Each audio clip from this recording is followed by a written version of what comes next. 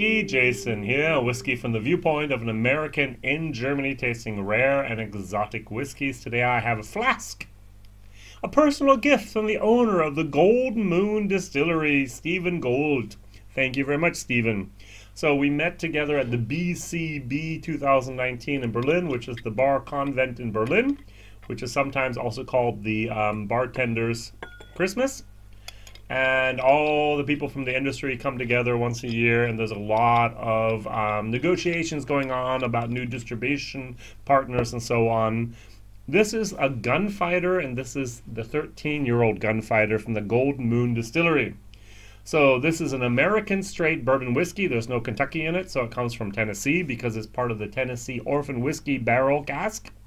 And this is Whiskybase number 137170 50% one day, Stephen said they're going to actually have a 15 year old um, Tennessee Orphan Barrel as well, which I would think is very, very interesting.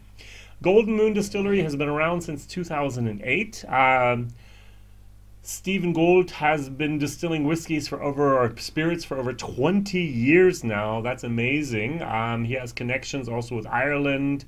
This bottle itself is actually a single cask, which means it's fairly rare. It's $99 in the States if you can get it. And um, what can I also? Oh yeah, the Golden Moon Distillery is um, a distillery you can actually visit. It's in um, Golden, Colorado. So Denver, Colorado, Southwest um, on the ring. Basically, you can go there. Call up before a tour. They're not always giving tours, so make sure you um, uh, book in advance. They have a speakeasy. That is excellent, at least what I've heard. They make their own bitters. They make a lot of their own cocktails. Uh, they make uh, that's just a beautiful, beautiful place to go to if you're ever in the area. So I personally have had the um, double oaked, um, double cask gunfighter. I've had the rye double oak gunfighter. There's a port um, from California port, not European port if you take anything that's not made in the region declared for port in Portugal, you cannot call it port unless it doesn't leave your country. For example, California port, if it's sold only in California, they can still use the name, but as soon as it enters into an international trade zone, like, for example, Europe, you can no longer call it port. And they have now a brand new, um, from the Golden Moon Distillery, a single malt Colorado whiskey, which is also interesting. All right, so this was cast number 29. Very, very nice. As you know, um, or as my um, fans know, um, fans, as the viewers of my channel know, I love tasting whiskey and comparing whiskey. So what I'm going to do is take another Colorado whiskey. It's Tennessee, I know, but I don't have any Dickel back there. Um, and this is actually a um, single barrel from Breckenridge Bourbon Whiskey, Colorado. And their claim to fame is distilled at 9,500 feet. So I won this through an auction.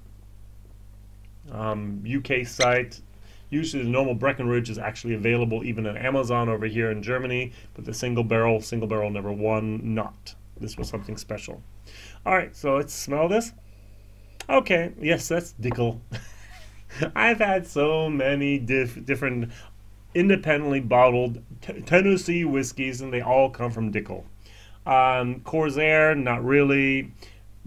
Jack Daniels, sorry, not going to happen. Dickel um, has given up and have um, will I continue to give up a lot of their casks.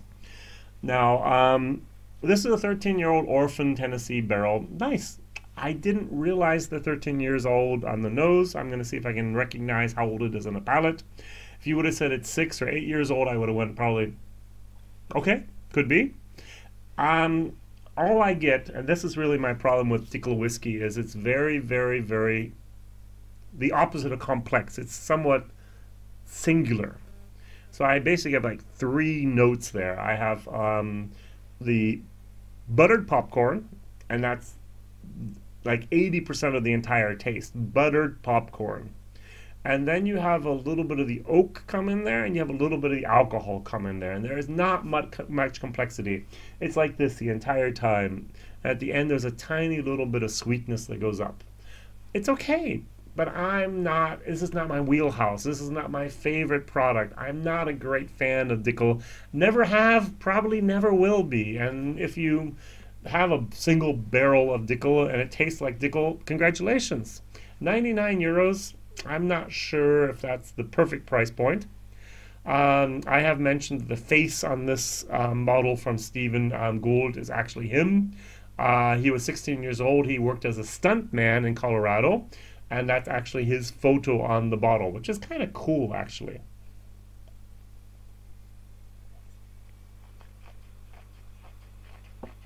Mm-hmm. Mm-hmm. The 50%, nice, very well done. It gives a little bit of an oomph, a little bit of a kick there. But as I said, it just doesn't transition at all. It's just like mm, buttered popcorn. Um. And at the end, there's a little bit of a sweetness with popcorn. C, I'm sorry. A is why haven't you bought it? B, buy it. C, you can buy it if you want. D, don't need to. F, ugh, why was this even made? This is a solid C. Um, not my wheelhouse. That's my problem here. Going over to the Breckenridge here, single barrel number one.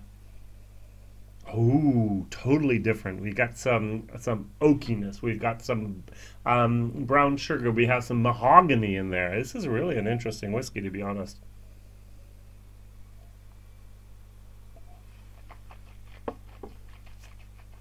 Mm. Almost too much wood at that mo one moment there. Then it kicks back in and gets back into that. Um, that mm, nice, nice. Oh yeah, very very nice. Um, the the wood transitions from the tannins into the sweetness. The brown sugars kick in. The nuttiness, a little bit of walnut actually. Mm, excellent also finish. Um, very, very nice. Highly recommendable. If you can ever get a single barrel number one here from Breckenridge, they say um, only one in a hundred or 200 barrels actually make it into the single barrel program. So, value for money, Stephen Goulds, um, Tennessee Orphan Barrel or Cask $99, 50%, 13 year old gunfighter. I'm going to have to give this actually a D. I don't think it's worth the 99 euros. There's another company out there called Bib and Tucker. Um, did I say that right? Let's see here. And um, So yeah, Bib and Tucker, and they also, according to my nose and my palate, they also use the Dickel um, products, and they're a little bit cheaper.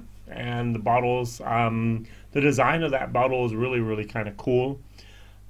Who knows? All right. Um, sorry, I would like to have said more and said better things about this whiskey.